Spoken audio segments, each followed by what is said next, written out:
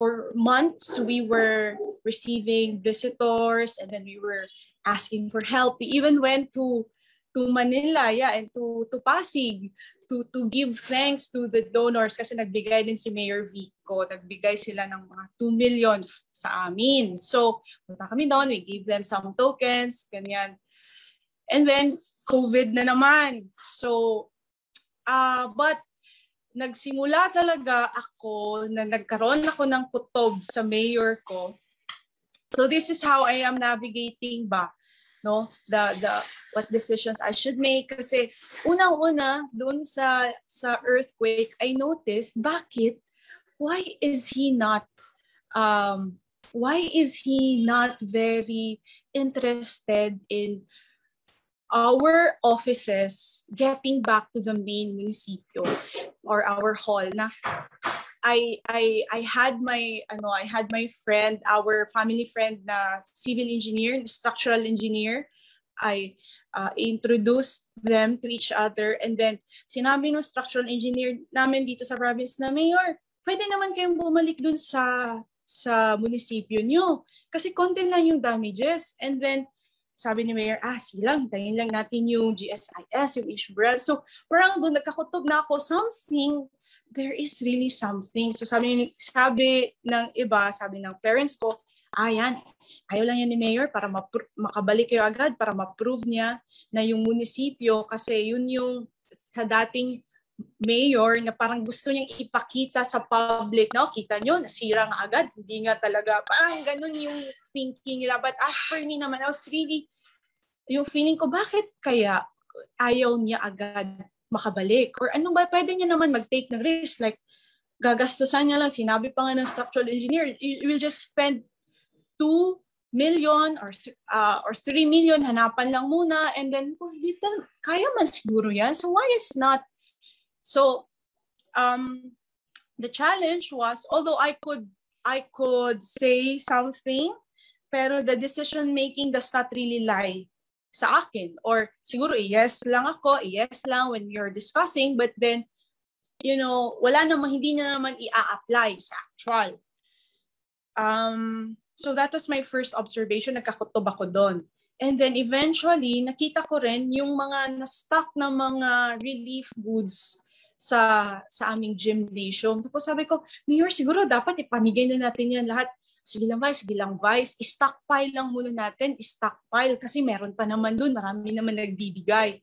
So that was my pangalawang kin- kinukutuban may something talaga. Why? Why? So I was just observing him because I could not really go head on kasi nga kasama kami, we want together, parang yung role ko is to support him into his reforms, uh, yung direction niya.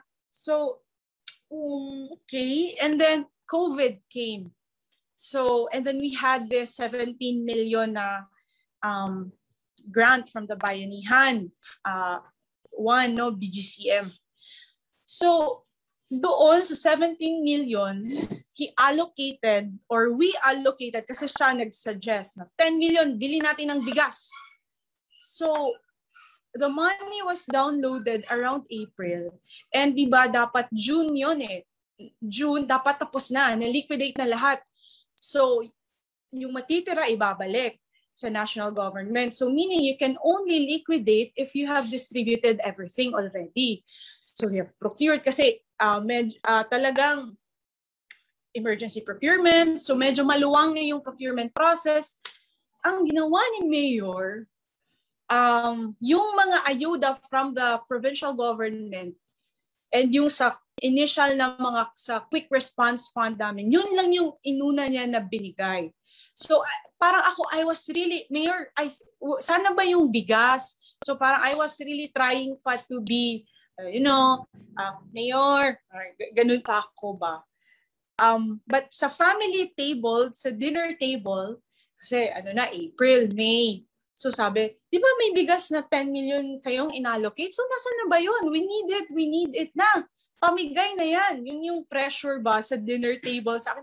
Sinabi ko naman kay Mayor, sabi niya, andun lang daw sa warehouse ng, ng supplier. So, so May and then June, sinasabi sabi ko uh, sa mga fellow konsehal ko, kasi may mga traditional politicians then within the council. Uh, tapos may tatlo na new na parang na-influence na rin ng tradition ng mga kasama. Kasi you know, this, uh, in politics, I think people really become insecure because uh, they need to survive ba? Political survival. Yun yung parang center ng, ng nagiging intention ba? You, you appear here and there, para syempre, eventually you will survive. Pakikita ka ng mga tao. Parang it's, yun yun ba? So, siguro, I thought na okay, okay to kasi in the before uh, you know election time But then, nung nakaupo na, umupo na kami, and then parang sila na lang palaging nag-usap. And although I am the presiding officer, but um, it's very difficult to to handle na uh, no matter how I try to enter into their world, you know, mapait naman ako, I can really talk to them, pero parang iba man. So, but going back to the bigas, um, hindi niya talaga binigay. Binigay niya lang August. So imagine that August niya na binigay na ang mahal-mahal ng bigas pagbili at 2,200 per sack.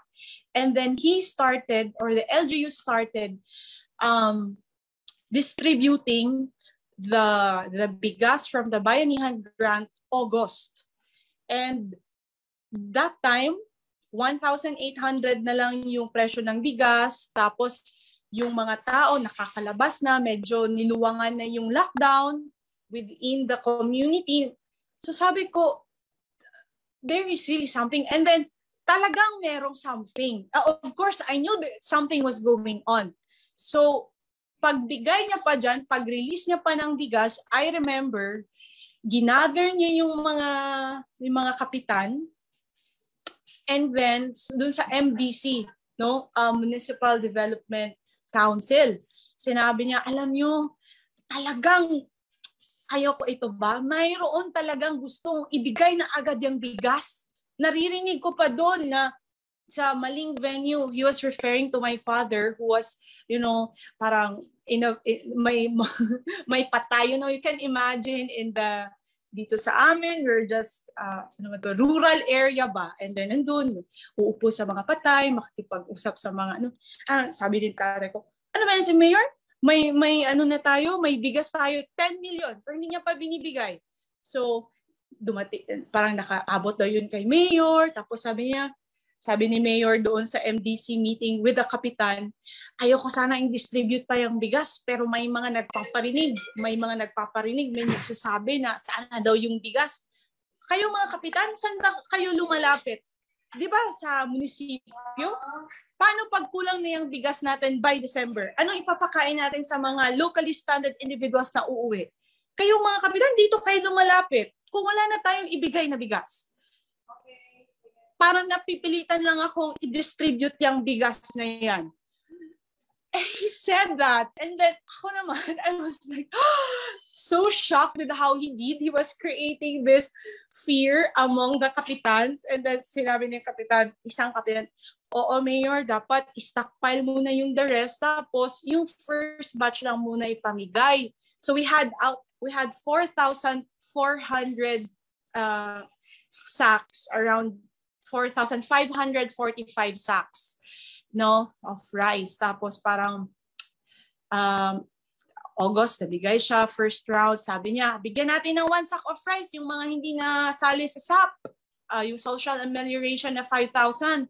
Tapos, uh, hindi yun natuloy. Sabi naman ng DSWD, ay, 25 sacks lang yung kaya natin. Tapos, sa I, I asked for the scheme. Ano yung scheme niyo for the distribution? Uh, eto Vice, hindi kasi kaya na one sack of rice yung ibigay natin sa mga left out. So, uh, 25, ano na lang, 25 kilos. Tapos, uh, the next day or the next week, sabi, ay Vice, hindi kaya yung 25 kilos. Um, ano na lang, uh, ginawa na lang natin dito 10 kilos na lang. Ha? Ano ba yung klaseng scheme ninyo? So, uh, no matter how much I wanted to question, but my counsel was not with me ba? My, my, my council was not with me kasi finifeed na din sila ni Mayor. So, I was like, ha, ano ba to? Parang, I was in a situation na, whew, And then, um, sabi pa, ay, Vice, hindi na kaya yung 10 kilos. Doon na lang, 5 kilos na lang. Tapos, ah, okay. Tapos pag nakarating pa sa akin ang mga report na kulang yung 5 kilos, hindi umabot ng 5 kilos, 3.5 kilos lang. So, oh my God, I could imagine I, when I binabalikan ko yun, I was really so angry. And then, sinabi ko, I, I called up the media, tapos pumutok sa media, what happened, plus pa yung kawawa na situation namin sa quarantine facility namin na nag-approve kami ng budget na 1 million para sa uh, quarantine facility. Tapos pag-visit ko doon, yung pagkain, kulang-kulang, yung situation, dirty kitchen, why is it like this? So, and pumutok sa sa sa media sa the provincial wide media ba. And then nakita ni mayor yon na sabi niya early na namumulitik kasi si vice. Early politicking. This is early politicking for the vice mayor to do this. Mga ganyan. Tapos um And then yun na, and then I decided to leave the group kasi parang mahirap sila i-head on kapag ka, ay kasama man tayo sa sa group, kasama man tayo sa group. And then here here pa our um parang provincial boss sa governor ba na or well na sasabihin niya na Amao, you have to fix that with your mayor. You have to uh, don't be too ano with your mayor. Kasi alam mo naman uh, politics is jealous. So she was like that. And then how do I patch this sa sarili how do I do that? So but of course I'm very happy kasi with the family. Ang sinasabi lang nila um syempre kung ayaw mo na then we will support you kung ayaw mo na makipagsama sa kanila then we will support you so And uh, yung naging initiative ng nanay ko, ng mother ko was, kailangan natin ipaintindi to sa mga tao. Kasi si Mayor, magaling siyang magdrama. Uh, he really knows how to do that. He really knows how to, you know, make people uh, or make himself appear to the people that he's the one who's very concerned, like that. So, uh, yeah, so what we did was we tried to, you know, gather people when we observed as much as we ca- we could uh, the minimum health protocols na. And nag we we made a press I made a presentation we made a presentation na. Anong nangyari nung lindol? This is everything that we've gathered. Um, and uh, na money, na mga uh, donations, and then sa COVID, ano yung nangyari? Ito yung pera na ginastos natin, ito yung dumating na pera, this is what we have approved sa Sangguniang Bayan. Easy approve nga lang kasi nga 10-0, no? I was asking my council, uh, sure na ba talaga kayo? Approve nyo na ito? Approve man daw. So, uh, what could I do? So, yun yung ine-explain ko ba? So, parang in a way, addressing also political survival but three on my part kasi parang ako na lang isa 'di ba I I I uh, parang detached myself from the party So paano yan? Kasi they will really go against me. Sabihin na, ah, si Mao, siya na yung, mal, siya na yung kontrabida, siya yung, you know, they, they could have their narrative na like that, yung storylines nila ba na papaabot sa mga tao. So kasi we are a small community lang man, our uh, voting population, mga 35,000 and then 29 barangays. And then, you know, um, parang yung, yung culture is, dapat wag mo lang awayin si Mayor Vice, patapusin mo lang siya, patapusin mo na lang si Mayor kasi ikaw naman talaga yung next.